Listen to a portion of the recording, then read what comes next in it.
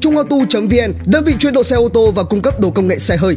Với các sản phẩm, dịch vụ tốt nhất như độ màn hình DVD Android OLED, độ camera 360 cho ô tô, màn hình liền camera 360 OLED Pro, độ đèn ô tô cùng nhiều dịch vụ phụ kiện ô tô khác.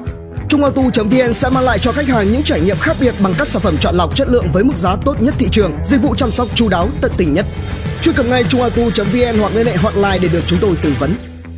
14 tuổi thành triệu phú đô la trẻ nhất lịch sử, 6 tuổi bán đá, 8 năm sau lập công ty kiếm hàng triệu USD từ công thức nấu ăn của bà. Một trong những câu nói truyền cảm hứng của Farah Gray là nếu bạn không tự xây giấc mơ của mình, người khác sẽ thuê bạn xây giấc mơ của họ. Lớn lên ở vùng phía nam nghèo khó của Chicago, Farah Gray đã vượt qua rất nhiều khó khăn và trở thành triệu phú tự thân trẻ nhất trong lịch sử, ngoài lĩnh vực giải trí khi mới 14 tuổi. Anh cũng là người trẻ nhất có văn phòng ở phố Wall và người trẻ nhất nhận bằng tiến sĩ danh dự. Ngoài ra, anh còn là tác giả của cuốn sách bán chạy trên toàn thế giới Billionaire, Nine Steps to Becoming Rich from the Inside Out và là nguồn cảm hứng cho hàng triệu người. Ray sinh ngày 9 tháng 9 năm 1984 trong một gia đình đang gặp khó khăn trong bối cảnh nghèo đói và bạo lực trong khu vực. Anh biết mình phải tự lập từ nhỏ để giúp đỡ gia đình. Năm 6 tuổi, anh bắt đầu tìm những thứ xung quanh nhà mà mình có thể biến thành sản phẩm có thể bán được và anh tìm thấy một số viên đá. Anh sơn chúng và trang trí lại để biến thành thứ để chặn sách hoặc chặn cửa. Điều đó tạo ra khoản lợi nhuận 50 USD đầu tiên của Ray. Tiếp đến, anh mày mò và tự tạo ra các loại kem dưỡng thể tự chế. Việc kinh doanh diễn ra khá tốt và giúp tạo nền tảng cho thành công sau này của anh. Năm 8 tuổi, anh đồng sáng lập câu lạc bộ Urban Neighborhood Enterprise Economic ở phía nam Chicago. Đây là tình thân của tổ chức New Early Entrepreneur Wonders mà anh thành lập tại phố Wall. Việc này khiến Ray trở thành người trẻ tuổi nhất có văn phòng tại phố Wall. Với mục tiêu giúp đỡ những người trẻ tuổi, New Early Entrepreneur Wonders đã góp phần giáo dục những thanh niên có nguy cơ bằng cách tạo cho họ cơ hội kiếm tiền một cách hợp pháp. Thời gian đó, Ray đã trở thành một nhân vật truyền thông khá nổi tiếng. Năm 12 tuổi, anh trở thành đồng MC của chương trình Backstage Live tại Las Vegas. Với tinh thần truyền cảm hứng của mình, chương trình đã thu hút 12 triệu người nghe và người xem. Từ đó, Ray nhận được rất nhiều lời mời diễn thuyết của các tổ chức trên khắp nước Mỹ.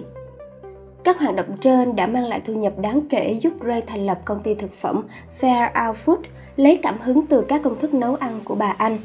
Đến năm 14 tuổi, anh đã kiếm được 1 triệu USD đầu tiên nhờ doanh thu từ việc bán sản phẩm của Fair Out Food. Năm 15 tuổi, anh bán công ty với giá hơn 1 triệu USD. Không tính lĩnh vực giải trí, Ray được coi là triệu phú tự thân trẻ nhất trong lịch sử. Ngoài tự kinh doanh, Ray còn đầu tư vào nhiều dự án khác nhau. Khi chưa tròn 20 tuổi, anh còn là giám đốc sản xuất của một chương trình hài kịch. Những cuốn sách Billionaire, Get Real Get Rich và The Truth Shall Make You Rich nổi tiếng của Gray đã được dịch sang nhiều thứ tiếng bao gồm tiếng Việt, tiếng Nga, tiếng Hàn Quốc và tiếng Indonesia. Bên cạnh các vai trò trên, Gray còn là một nhà từ thiện. Anh đã thành lập quỹ mang tên mình để thúc đẩy tinh thần kinh doanh của thanh thiếu niên gặp khó khăn. Quỹ này đã cấp học bổng cho nhiều đối tượng có hoàn cảnh khó khăn để giúp họ không sa vào con đường phạm pháp. Ray cho biết anh sử dụng thù lao từ các buổi diễn thuyết để tài trợ cho quỹ phi lợi nhuận của mình. Ray được nhiều người có ảnh hưởng tại Mỹ đánh giá cao như cựu tổng thống Bush, cựu tổng thống Obama, cựu ngoại trưởng Hillary Clinton, cũng như các thống đốc và thị trưởng trên khắp nước Mỹ. Tuy nhiên, Ray từng gặp phải không ít khó khăn khi là một người da màu. Ví dụ khi có một cuốn sách được xuất bản ở Nga, hình ảnh của anh đã bị gỡ khỏi trang bìa vì một số lý do. Chia sẻ về sự việc đó, anh nói, tôi đành phải chấp nhận vì biết đó là quyết định marketing của họ. Trong nhiều bài phát biểu, Ray đã kêu gọi cộng đồng người Mỹ gốc Phi đoàn kết để thoát đói nghèo. Anh nói, chúng ta phải giúp đỡ và yêu thương nhau, đó là cách duy nhất để chúng ta thành công. Theo tổ quốc.vn, độc đáo TV tổng hợp và đưa tin. Đưa thương hiệu và sản phẩm của bạn đến với hàng triệu khách hàng mục tiêu. Liên hệ ngay Đình Nghĩa Studio a gmail.com Số điện thoại 0964 002 593